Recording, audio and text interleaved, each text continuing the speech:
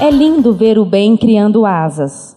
A Fraternidade Sem Fronteiras é um chamado do coração também para o médico, orador e escritor Andrei Moreira. Há pouco mais de três anos, Andrei conheceu o projeto em um congresso em Campo Grande e, desde então, passou a ser um dos principais divulgadores da causa.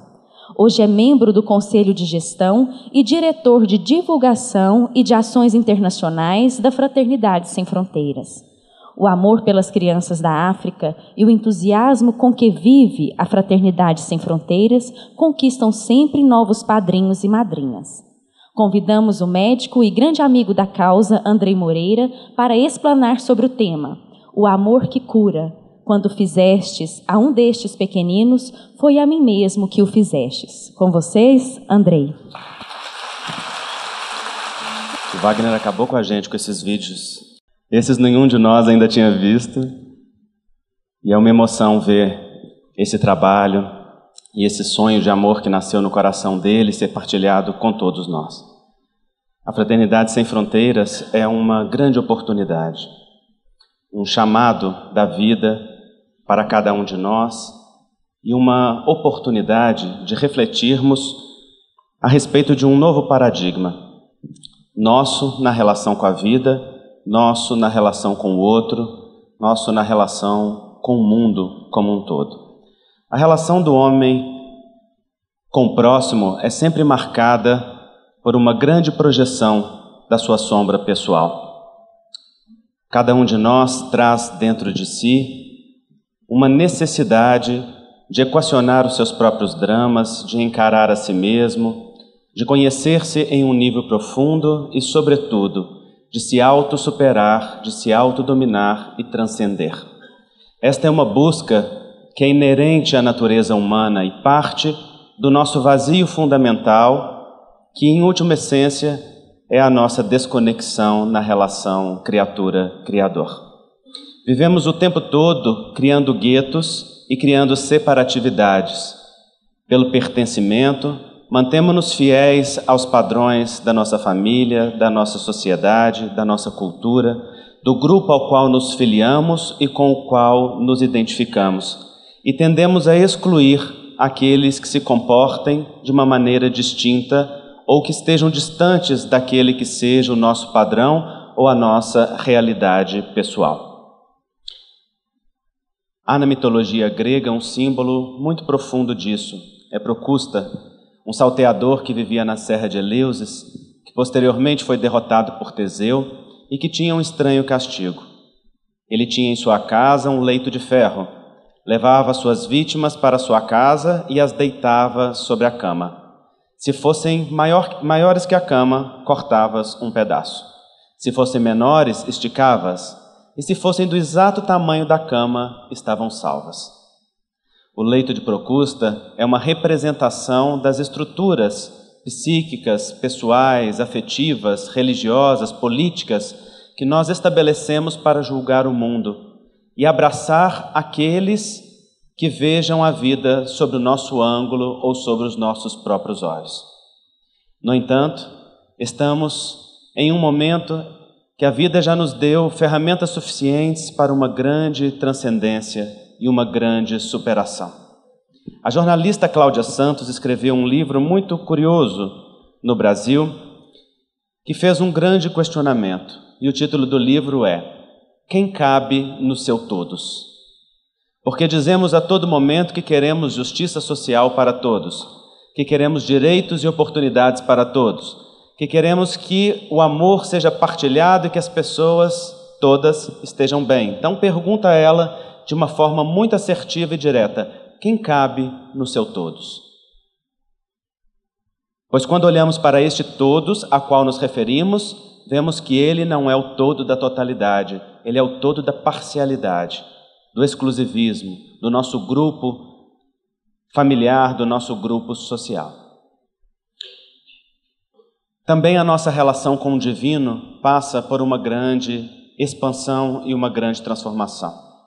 Desde sempre, o homem trouxe na sua intimidade a consciência inata da divindade e do poder supremo que dirige todas as coisas. Sempre o buscou, sempre o adorou. inicialmente nos símbolos da natureza, nas forças descomunais que não sabia explicar e as quais reverenciava pelo seu poder, vendo ali naquela manifestação a consciência de um atributo daquele que podíamos intuir, embora não compreender, a que chamamos Deus. Aos poucos, o sentimento religioso desenvolveu-se na humanidade e começaram os cultos de mais variadas, das mais variadas naturezas, tendendo a adorar a Deus. Os sacrifícios humanos, animais, o ouro, a prata, a opulência, os templos ricos e fartos. E em tudo isto, o homem pretendia uma comunhão com a sua fonte, uma comunhão com o seu Criador. No entanto, Há dois mil anos, nós tivemos um homem que mudou o paradigma da relação com Deus, da relação com o Pai. Um homem que era esperado como um grande dominador, que diziam as Escrituras que viria como profeta ou Messias prometido para salvar aquele povo escolhido de um jugo político e de um jugo religioso específico. No entanto, Jesus vem na simplicidade de uma manjedoura entra em Jerusalém em cima de um borrico, não permite ser aclamado como os homens da sua época, mas transcende apresentando um contato que é do coração. E é esse mesmo Jesus que vai nos apresentar uma relação com o divino que passa necessariamente pela relação com o humano. Jesus falava com simplicidade aos corações, consolando rapidamente o ego para posteriormente levar as pessoas a um contato com o ser divino dentro do coração. E fazia de uma forma tal que convidava aqueles que eram tocados pelo seu amor a transcender os seus próprios dramas, as suas próprias dores e a desenvolver na alma a alegria do servir. Então consolava para que se sentissem momentaneamente confortáveis, para logo depois serem convidados à festa, ao banquete espiritual do serviço, à alegria do trabalho que promove o vício do ser. É exatamente Jesus que, conversando com os apóstolos, disse a eles a respeito do reino dos céus e disse então: Bem-aventurados serão aqueles que naquele tempo em que o Senhor separará os bodes e as ovelhas, aos quais poderá dizer: Vinde a mim, todos vós, que me vistes cansado e me confortastes, que me fostes visitar na prisão, que me viste nu e me destes de vestir, que me viste necessitado e me amparaste de qualquer maneira. E então perguntaram a eles: Mas, Senhor, quando é que te vimos nu e te vestimos, desamparado e te amparamos? E então ele, com sabedoria, exemplificou: Todas as vezes que o fizeste a um destes pequeninos, foi a mim mesmo que o fizeste. Naquele momento, Jesus demonstra claramente que a relação com Ele, que representa o Pai para nós, passava necessariamente pela relação com o humano. Na medida em que os corações humanos estabelecem pontes de afeto, e de troca, então ali se dá uma comunhão divina. O divino se dá na relação com o humano, de tal maneira que Jesus nos apresentou duas facetas importantes desta relação: a faceta da conexão interna através da inspiração, da oração e da conexão com a fonte do Criador em nós, e a maneira direta através do próximo em um movimento de adoração. Disse o Pai. Disse Jesus: Quando orares, entra para a tua casa íntima e, fechando a tua porta, fala em secreto, e o Pai que te ouve em oculto, em secreto, te responderá.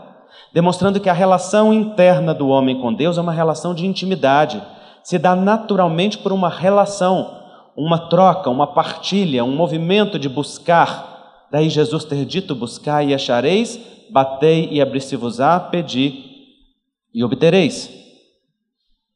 Ação afirmativa, taxativa, buscai e achareis, desde que seja na sua intimidade, num mergulho interno e profundo na percepção de que o divino reside na sua própria intimidade, vibra e vive em você. E se este divino vibra e vive na intimidade deste coração, ele naturalmente olha com respeito para o divino que habita o outro, para o divino que é a realidade daquele outro humano que está ao lado, para estabelecer pontes de conexão, pontes de afeto, pontes de comunhão. E este movimento de trabalho, este movimento de serviço, naturalmente vira fonte de felicidade, fonte de satisfação para o homem. Então Jesus nos apresentou um caminho que é da interiorização interna e um caminho da troca e da partilha que se dá com a necessidade do outro. Afinal de contas, que diferença tem a dor do outro para a nossa própria dor? Se a humanidade estivesse sensível, se nós todos estivéssemos sensíveis às necessidades uns dos outros, não teríamos a fome acontecendo no nosso mundo como acontece. Não teríamos na nossa própria sociedade o desperdício e a necessidade lado a lado um do outro.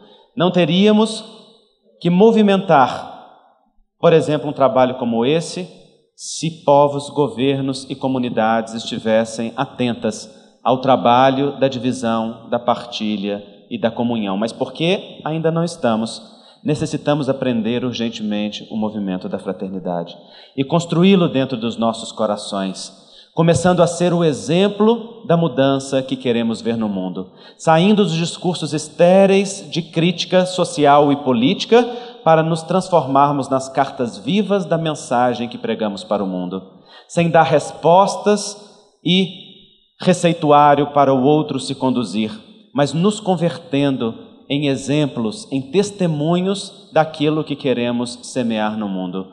Porque se a palavra convence, o exemplo arrasta, diz Emmanuel. E o que faz transformação na vida de cada um de nós não é a beleza do discurso que nós temos, não é a grandeza do conhecimento que abrigamos nos nossos cérebros instruídos, mas sim a sensibilidade de um coração transformado que se traduz em atos generosos e legítimos de bem na vida em qualquer setor em que estamos. Por isso, Jesus, quando estava num dos momentos da demonstração após a ressurreição gloriosa, no encontro com os apóstolos, em conversa íntima, dividindo o pão e o peixe, pergunta a Pedro com intimidade: Pedro, amas-me mais do que a estes? E ele diz: Sim, Senhor, te amo.